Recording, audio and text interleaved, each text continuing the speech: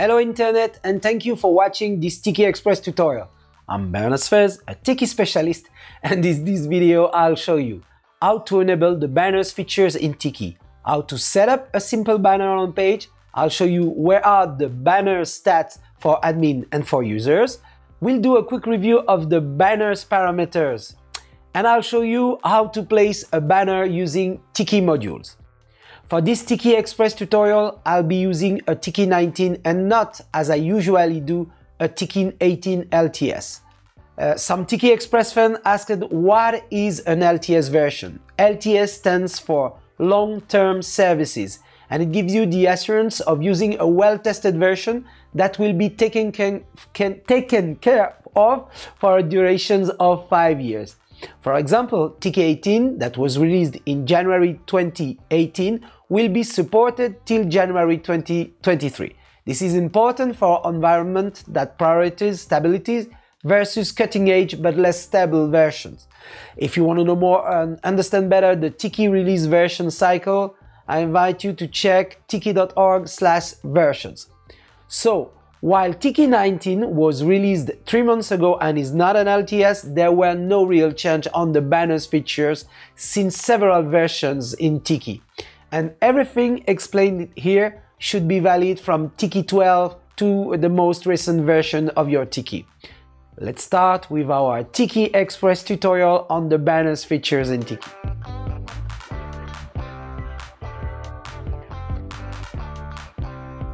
There are several ways to place a banner in a Tiki depending of what you need and the level of control that is required. In some case, a plain HTML or JavaScript code from an advertising company inside a single or several pages will be good enough. Sometimes you'd like to control better single element displayed depending certain condition in a Tiki module over several pages.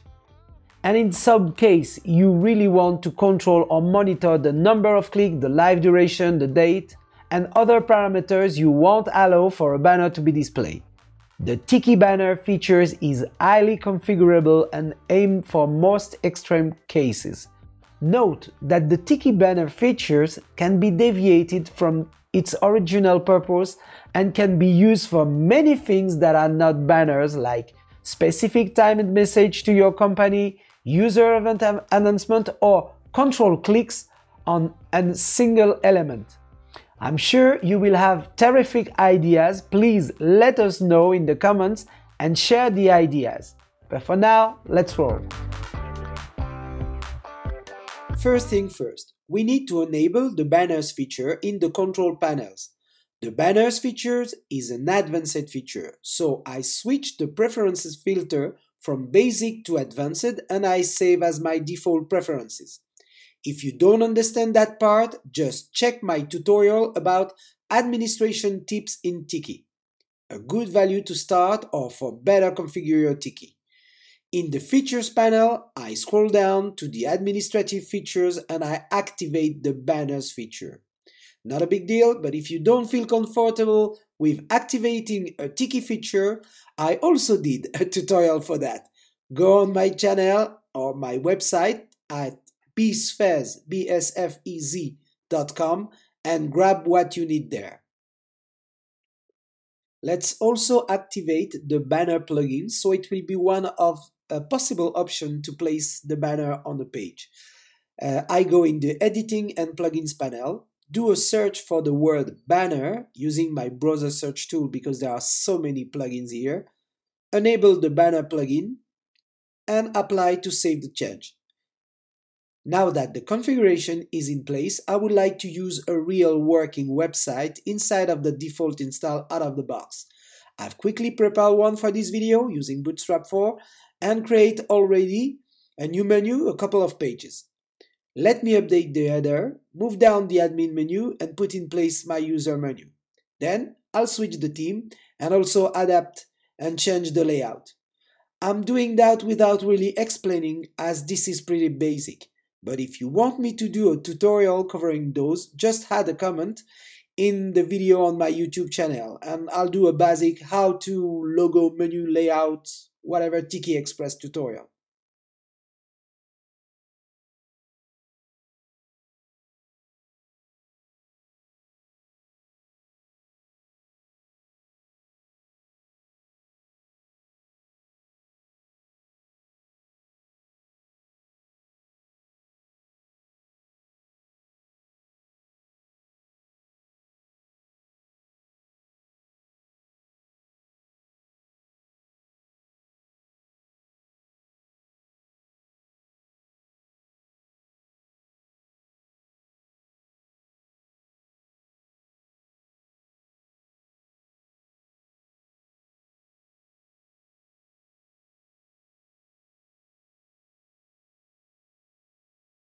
Now that we have our nice looking website on and we have our feature banner activated, let's go to the setting menu.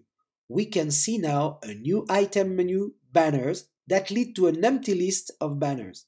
Let's populate it by creating our first sticky banner.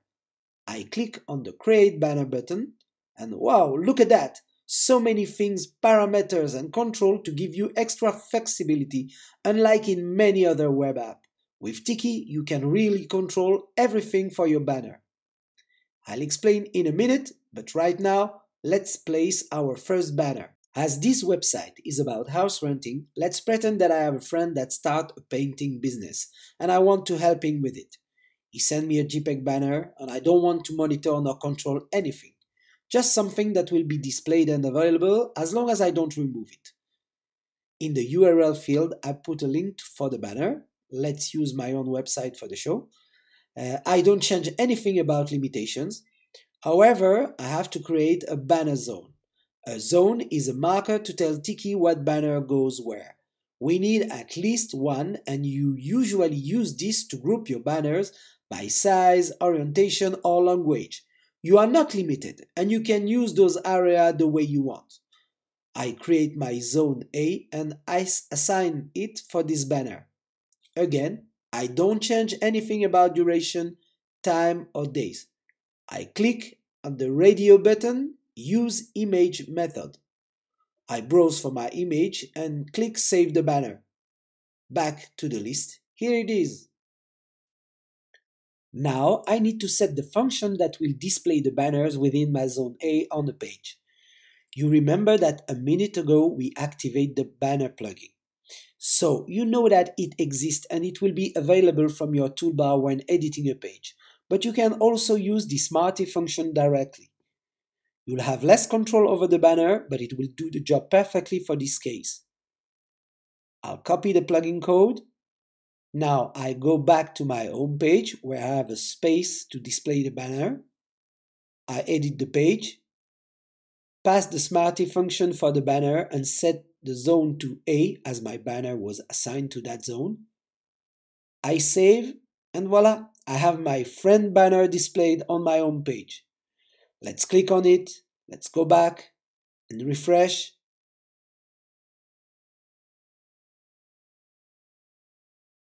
Back to the banners page on the list, I can see already important information and on the action menu, on the right under the branch, I have a stat item where I can find more details regarding the usage of the options I set for the banner.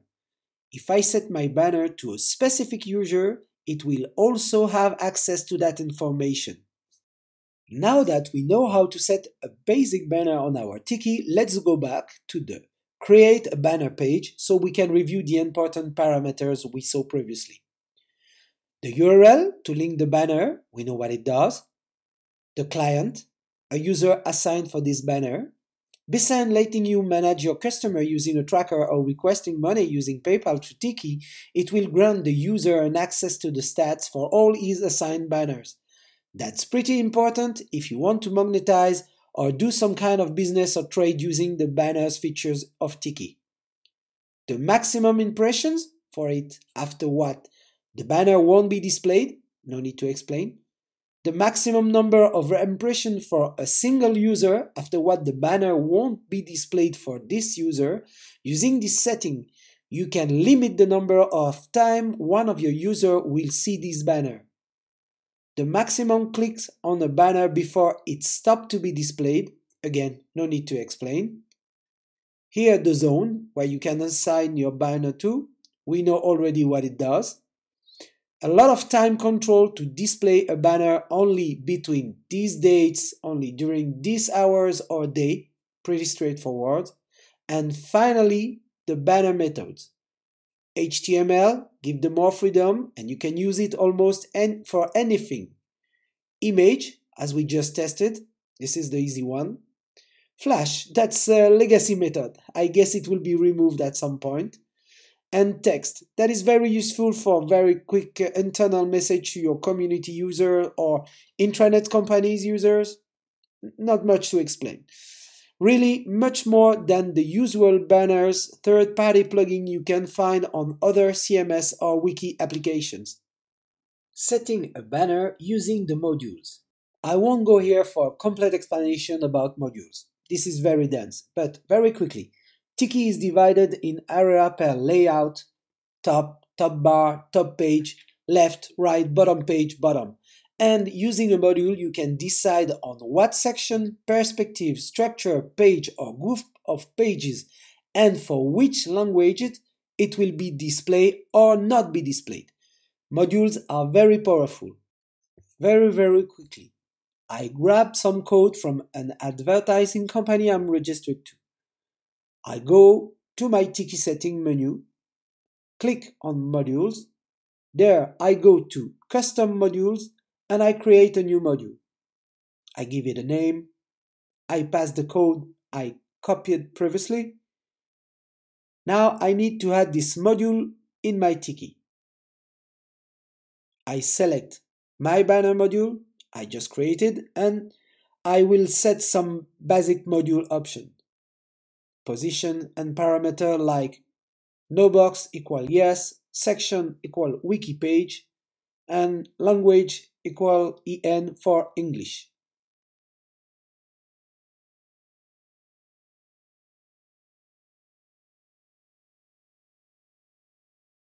I exit the modules. Back to my home page, I have my banner in place and it is on all my English wiki pages. So that's another way to display a banner with more controls over where it will be displayed uh, automatically and only if it matches certain conditions. That's it for today, and I hope you've enjoyed this Tiki Express tutorial. Good feedbacks and comments are continuing to coming, and that's just great and very helpful. Having solved most of the technical uh, stuff for my video tutorials, I will publish more often and get into the expected tutorials about installing Tiki, setting a Wikisuite server, using trackers, using the custom search, using the maps features, and uh, I will also do a specific advanced usage video for those. Um, you know how to support me, so please like, share and subscribe to my YouTube channel. Yes, click on the thumb up button that is just under that video. If you want to miss my next tutorial and want to receive a notification when I publish one, just click on the subscribe buttons on the screen. Thank you again for watching and may the power of Tiki be with you.